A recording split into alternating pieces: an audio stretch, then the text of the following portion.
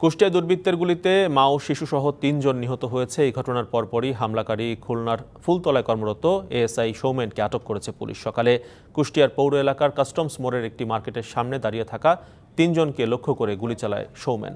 গুলিবিদ্ধ তিনজনকে গুরুতর আহত অবস্থায় উদ্ধার করে কুষ্টিয়া জেনারেল হাসপাতালে ভর্তি করা হয়। চিকিৎসাধীন অবস্থায় তিনজনের মৃত্যু হয় বলে জানিয়েছেন আবাসিক চিকিৎসক তাপস কুমার সরকার। তাৎক্ষণিকভাবে হামলার কারণ সম্পর্কে জানা যায়নি।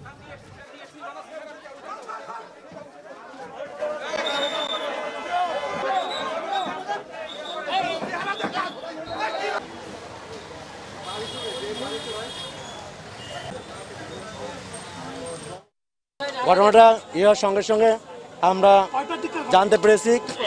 এইটা সাড়ে এগারোটা এগারো বিশ সময় এগারোটা এরকম ঘটনা। তো ঘটনাটি শোনার সঙ্গে অপ্রত্যাশিত একটি ঘটনা ঘটে গেছে। শোনার সঙ্গে সঙ্গে আমরা পুলিশ ফোর্স নিয়ে এসেছি। আমরা পরবর্তী কাজের জন্য আমরা কাজ করছি। আমাদেরকে সহযোগিতা করেন আমরা আমরা শুনেছি যে একজন গুরুতর আহত। একজন গুরুতর আহত। সে বিষয়টা এখন নিশ্চিত নয় তার অবস্থা কি? কুষ্টিয়ার কাস্টমস মোড়ে একটি বাড়িতে দুর্বৃত্তের গুলিতে শিশুসহ তিনজন নিহত হয়েছে। এই ঘটনায় একজনকে আটকও করেছে পুলিশ। এই বিষয়ে আরও বিস্তারিত খবরাখবর জানাতে এই মুহূর্তে যুক্ত হচ্ছেন আমাদের সহকর্মী সাজ্জাদ হোসেন। সাজ্জাদ এই হত্যাকাণ্ড এবং যে হামলাকারী তাকেও আটক করা হয়েছে। সে সম্পর্কে পুলিশ আর নতুন করে কি বলছে বিস্তারিত জানাবেন আমাদেরকে।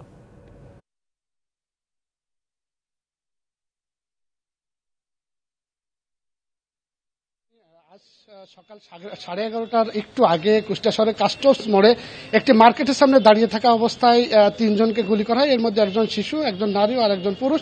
আর যে গুলি করেছে আমরা পরবর্তীতে জানতে পেরেছি, তিনি পুলিশের এএসআই, বর্তমানে কুষ্টিয়ার খুলনা খুলনা জেলার ফুলতলা থানায় কর্মরত আছেন বলে জানতে পেরেছি। তার নাম সৌমেন। তো আমরা তাৎক্ষণিকভাবে কুষ্টিয়া জেনারেল হাসপাতালের যে আবাসিক মেডিকেল অফিসার তাপস কুমার সরকার আমাদের কিছুক্ষণ আগে নিশ্চিত করে যে গুলিবিদ্ধ তিনজনই হাসপাতালে আসার পর চিকিৎসা, চিকিৎসাধীন অবস্থায় মারা যান। আর খুনিকে আমরা প্রত্যক্ষদর্শীদের সাথে কথা বলেছিলাম, তারা আমাদেরকে জানিয়েছিলেন সকাল এগারোটার পরপরই তারা গুলির শব্দ পান। একজন দোকানে জানান যে আমরা গুলির শব্দ পাই, দেখি একজন শিশুকে একজন হলুদ টি শার্ট পরা এক ব্যক্তি পিছন থেকে গুলি করছেন এবং গুলি করার সাথে সাথে শিশুটি পড়ে যান। এরপরে নারী এবং ওই পুরুষকে খুব কাছ থেকে গুলি চালান পুলিশের এসআই সৌমেন। এবং তার কাছে স্বয়ংক্রিয় অস্ত্র ছিল বলে নিশ্চিত করেছেন ওখানে যারা প্রত্যক্ষদর্শী ছিলেন, যে সে পাঁচ থেকে সাত রাউন্ড গুলি ছড়ে বলে তারা আমাদেরকে জানিয়েছেন। তো আসলে সৌমেন কেন এই তিনজনকে গুলি করলেন, তা তাৎক্ষণিকভাবে পুলিশের কোনো কর্মকর্তা আমাদের নিশ্চিত করে বলতে পারেননি। তবে আমরা পরিচয় পেয়েছি একজন বিকাশের কর্মী, তার নাম শাকিল খান এবং বাচ্চাটির নাম রবিন বলে আমরা প্রাথমিকভাবে জানতে পেরেছি এবং একটি সূত্র জানিয়েছে ওই শিশু এবং যে নারী, সেই একই পরিবারের সদস্য।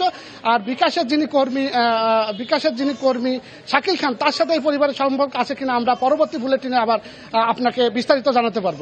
আর সৌমেনকে পুলিশ জিজ্ঞাসাবাদের জন্য তাকে হেফাজতে নিয়েছে এবং সে বিষয়ে পুলিশ আসলে তেমন কিছু মুখ খুলছে না। পরবর্তীতে আমরা পুলিশের কাছ থেকে আরও বিস্তারিত পেলে দর্শক, আপনার মাধ্যমে দর্শকদের জানিয়ে দিতে পারব। তো এই যে ছিল সর্বশেষ। সাজ্জাদ হোসেন, আপনাকে ধন্যবাদ যুক্ত হওয়ার জন্য। দর্শক, যুক্ত ছিলেন সহকর্মী সাজ্জাদ হোসেন।